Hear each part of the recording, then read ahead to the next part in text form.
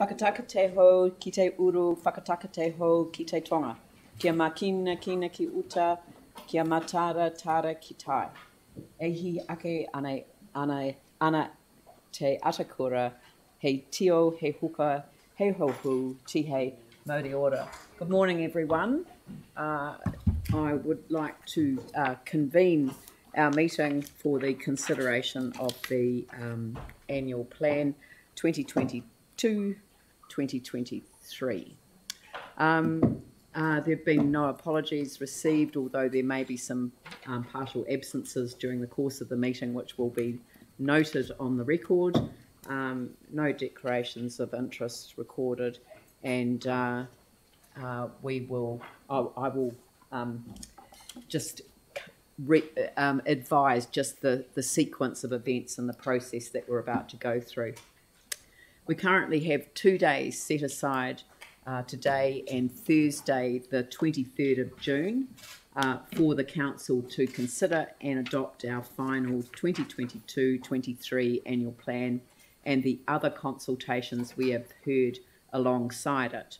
Um, we have uh, um, the parallel um, uh, consultations, the wheelie bin curbside uh, collection service being extended in Wairewa, uh, the wheel bin curbside collection service opting out for multi-unit residential development, the um, item five, the vacant central city land differential and remission, and item six, the policy on remission and postponement of rates on Māori freehold land.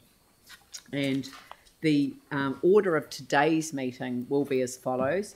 We will first consider the four other consultations. We will then consider our 2022 23 annual plan, and that's item seven on the agenda. Uh, staff will present the annual plan report and provide an update, and then we will work through our annual plan proposal, and I'll explain the process when we come to this item. Uh, I think I just want to kind of acknowledge the amount of work that staff have done uh, in the lead up to today. Uh, there's a significant amount of work going with um, a large number of councillors that want to uh, offer up amendments for us to consider today. Uh, we've taken legal advice, we've taken other advice, um, and staff have got uh, advice that have been provided to councillors, and uh, and it's now um, public facing. So um, it, will require a degree of um, patience and um, sort of intelligence and acceptance around the table. So that's what I'm asking of my uh, fellow councillors today uh, to enable us to get through this. Um, but as I say, we've got Thursday as a as a backstop uh, for um, adopting the plan if we require it.